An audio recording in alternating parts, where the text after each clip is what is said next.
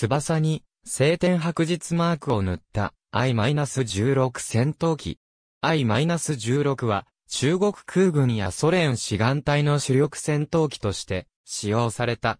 ソ連空軍志願隊とは日中戦争中の1937年から1941年までの間、中華民国を支援したソビエト空軍の義勇部隊である。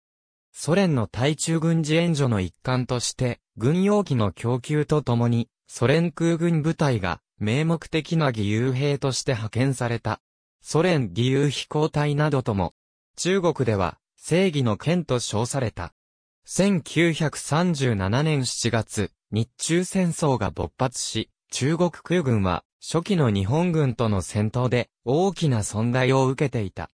8月21日、中ソ不可侵条約が締結されたことにより、ソビエト連邦から中国への軍事、経済的な援助が可能となった。9月14日、国民政府はソ連政府に対して飛行機などの武器供給とソ連空軍の作戦部隊派遣を要請した。ソ連政府は積極的な決定を行い、軍内から有料な人員を選定して、戦闘機大隊と爆撃機大隊が編成されることとなった。義勇兵たちは、ザバイカル軍管区や周辺軍管区の航空隊、太平洋艦隊の第9、第32独立戦闘機大隊などから選抜、あるいは部隊ごと派遣された。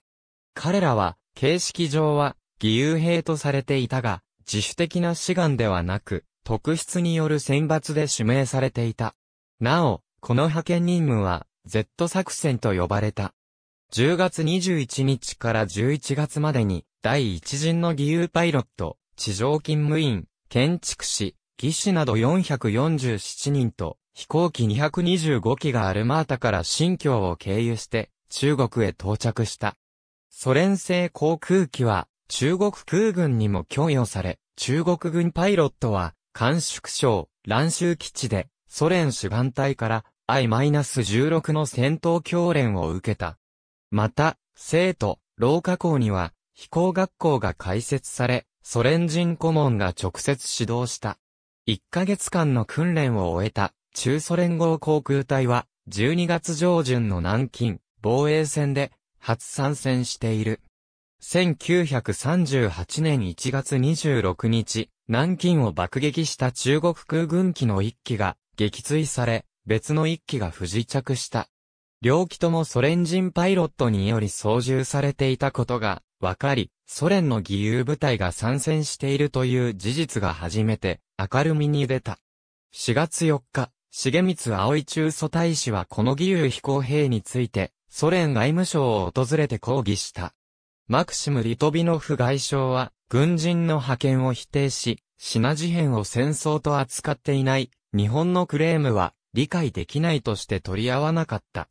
ソ連空軍志願隊は、スペイン内戦で15機撃墜の記録を持つパーベル、ルイチャゴフ少将などが指揮を執っている。ソ連の義勇兵たちは、派遣期間を6ヶ月以内とする交代制となっていた。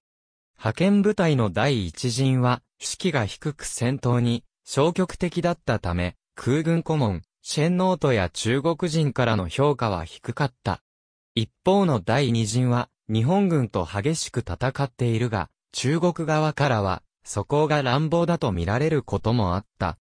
しかし中国奥地へ基地を移してからは、中、素領部隊の関係も第一、二陣に比べて良好になり、うまく共同作戦が取れるようになっていった。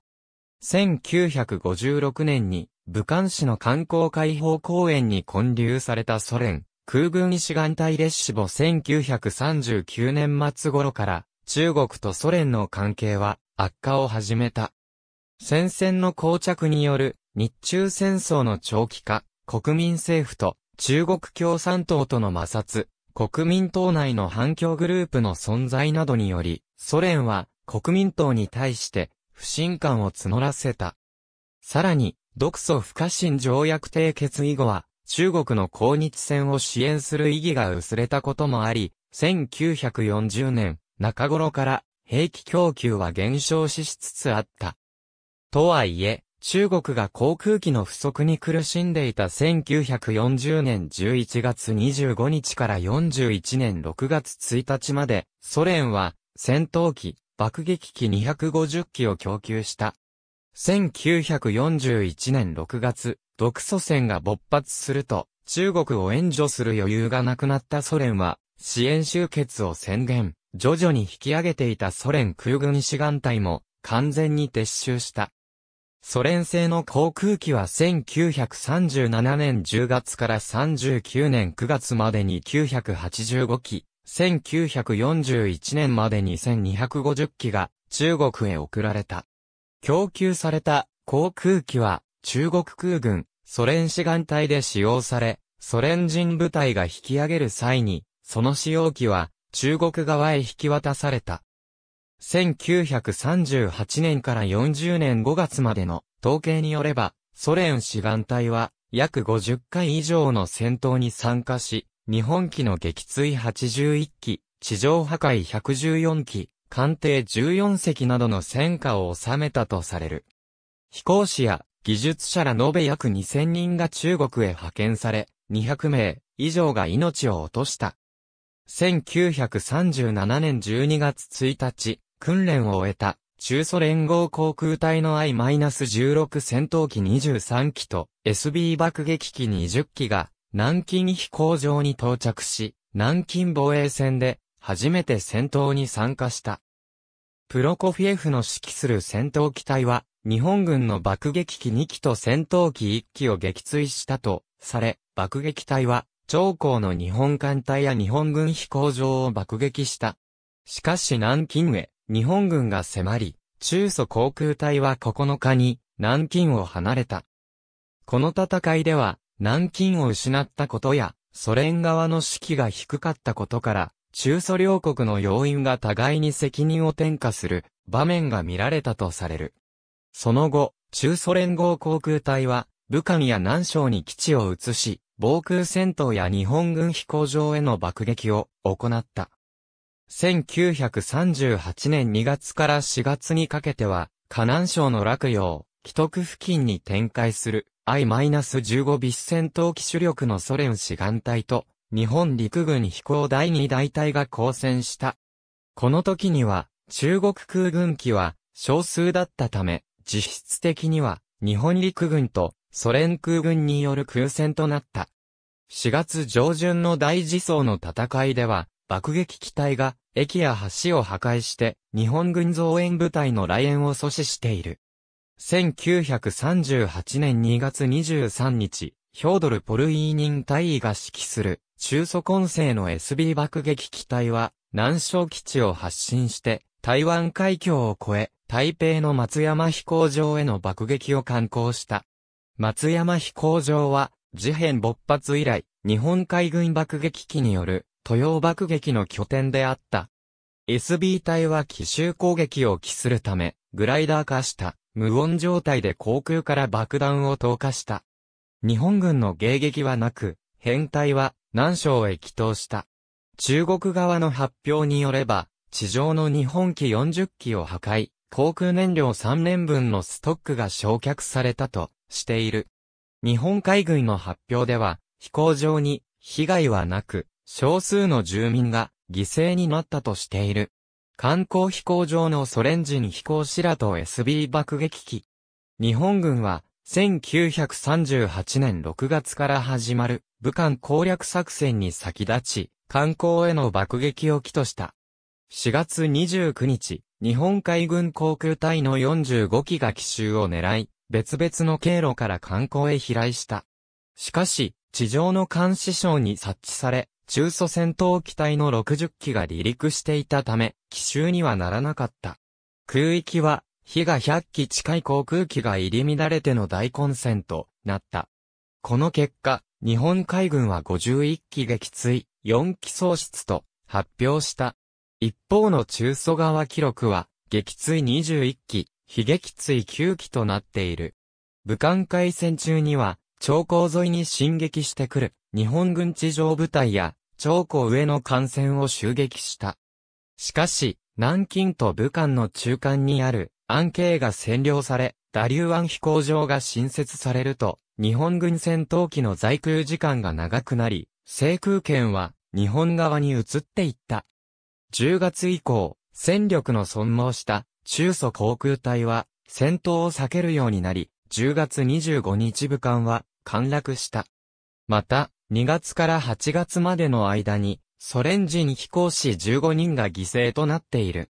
南省には、西雲府、老営坊の新旧2つの飛行場と、南省引き製造省があり、中国空軍の重要基地であった。日本軍は、武漢と共に、2月から8月頃まで南省への攻撃を繰り返した。5.6月の攻撃では、多数機が地上で破壊され、中ソ連合航空隊は、武漢、南省から奥地へ引き上げた。南省は、翌1939年3月に、日本軍によって占領された。観光、南省を失った中ソ連合航空隊は中国奥地の四川省や甘粛省へ基地を移した。航続距離の短い日本軍の戦闘機では、このような奥地までは侵入できなかった。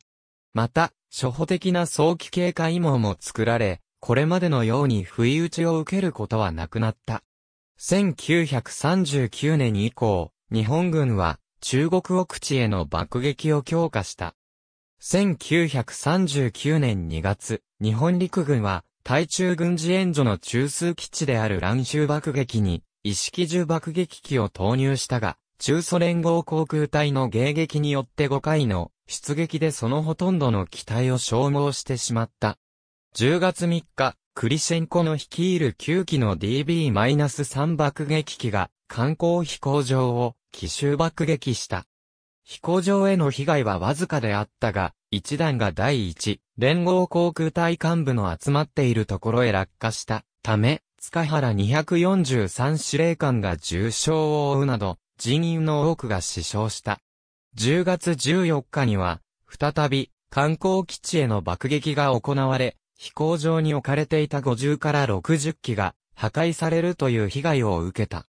同年12月、日本軍は炎症ルートを遮断するため、厚生省の南寧を占領し、奥地の補給路を爆撃するための基地を設置した。南寧の奪回攻勢を行う中国軍地上部隊を援護するため、中ソ連合航空隊が出撃し、厚生省南部で激しい空中戦が行われた。これらの戦いで中国空軍は戦力を消耗したため、1940年以降のソ連志願隊は中国空軍への協力と視線防空が主要任務となった。5月から9月まで日本軍は重慶、生徒を爆撃し、中蘇航空隊は迎撃戦で16機を撃墜したとしている。40年秋、日本海軍は最新型の零式艦上戦闘機を投入し、中継爆撃を行う中高隊の護衛に使用していた。9月13日、13機の0戦と中国空軍の I-152、I-16 計27機が戦い、中国側が惨敗を喫した。その後、中国はソ連から I-153 戦闘機を93機送られたが0戦の敵ではなく、被害は増大した。こうして、中国空軍は戦闘を避けざるを得なくなった。冷戦の登場とソ連の支援終結は中国空軍に暗黒時代をもたらした。この他に、ニコライ・アレクセーフ、パーベル・ポスペーロフ、ミハイル・マロフ、イバン・コビレツキ、ステパン・ガイダレンコ、バシーリー・ズベーレフ、シドルス・リューサレフ、オレスト・ボロフコフ、マルク・マルチェンコフ、エブゲニー・ニコラエンコ、ゲオルギー・コーネフ、アレクサンドル・コンドラチュク、フェドト、オルロフ、ニコライ・ズープ、イバン・スーホフなど南京で日本軍に露獲された I-16。ありがとうございます。